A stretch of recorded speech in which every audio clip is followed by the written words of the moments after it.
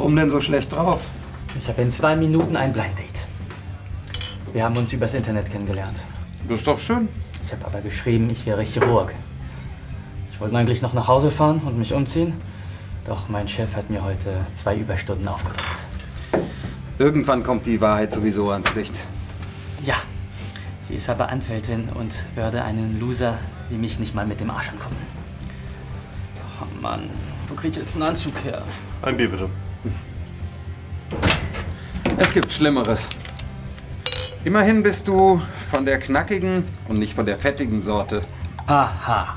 Außerdem, stell dir mal vor, du wärst ein Steak oder eine Currywurst und sie ist Vegetarierin.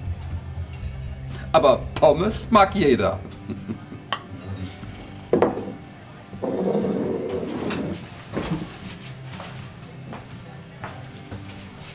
Der ist ja eh zu groß. Das wird ein Desaster. Verdammt, Mann. Warum müssen alle im Internet immer lügen? Ich mache ein Foto von ihrem Gesichtsausdruck, wenn sie reinkommt. Das wird was für unsere Pinnwand.